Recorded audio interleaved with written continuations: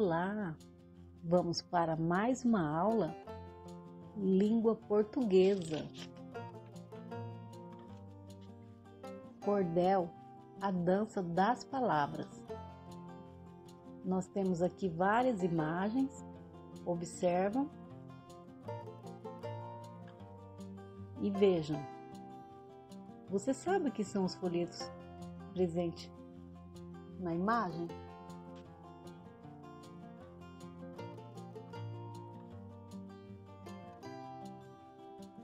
São os varais de cordéis.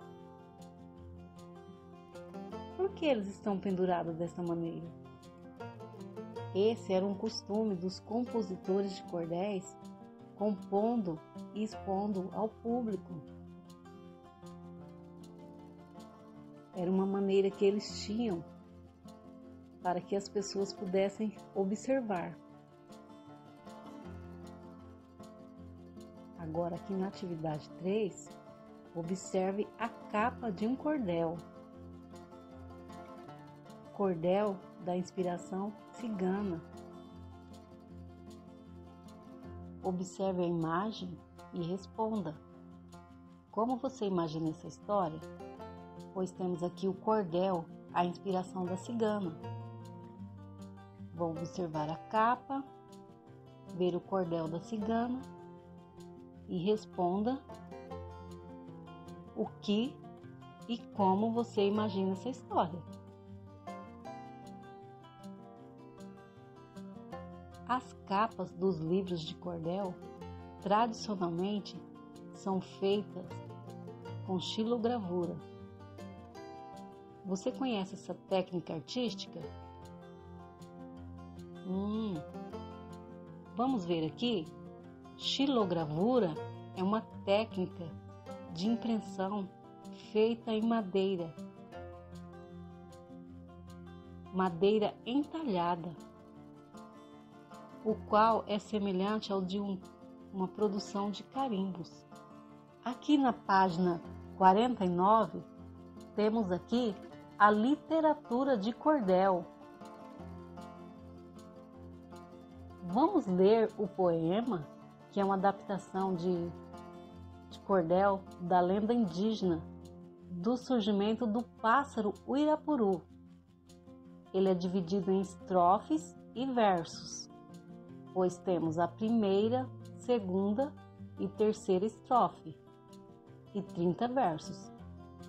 Cada verso com sua rima. Cada linha do poema é um verso, e um conjunto de 10 versos é uma estrofe. Portanto, nós temos 30 versos dividido em três estrofes, e cada estrofe com 10 versos.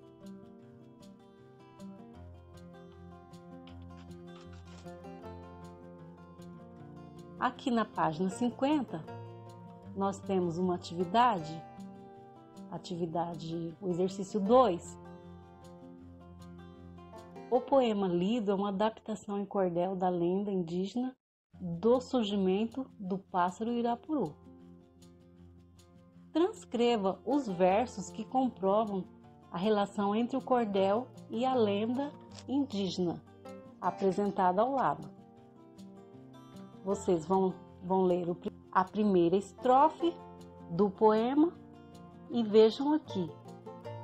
A floresta também tem seu cantor, passarinho encantado por Tupã.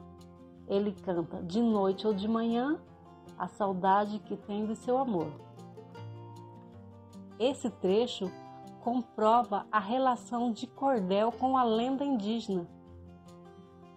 Aqui na atividade 3, releia um trecho do cordel.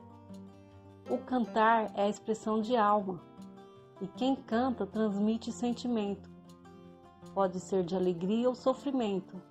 A canção nos agita e nos acalma. Você concorda com as afirmações desses versos? Converse com o pai ou com a mãe e vejam suas conclusões. Na atividade 4, segundo o poema, Por que o Irapuru canta?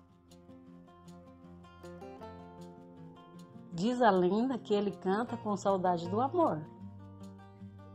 Aí na atividade 5, de acordo com a lenda, todos os animais da floresta ficavam admirados com o canto do Irapuru. Em quais estrofes do cordel essa informação aparece? Observam lá na, no poema lido e releia a segunda e a terceira estrofe, pois aqui vocês vão vão ver e perceber onde está essa informação. Por hoje é só e até a próxima aula. Tchau! Bons estudos! Thank you.